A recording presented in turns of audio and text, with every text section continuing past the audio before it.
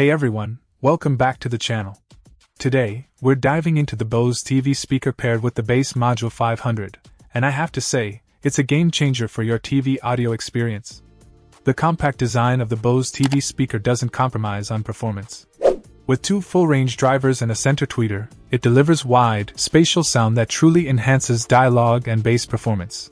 But it's not just about TV sound, the Bluetooth connectivity adds a whole new dimension. You can easily pair your device and wirelessly enjoy your favorite music and podcasts. Plus, if you're craving a bit more bass, just hit the bass button on the remote, it's that simple. What impressed me the most is the dialogue mode. It analyzes what you're watching and elevates vocals, making every word crystal clear. No more struggling to understand dialogue in intense scenes.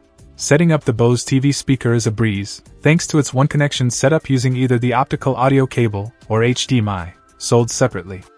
And the HDMI CEC compatibility allows you to control it seamlessly with your TV remote. In a nutshell, the Bose TV speaker with the Bass Module 500 is a powerhouse combo, delivering clear, balanced, and natural sounding audio.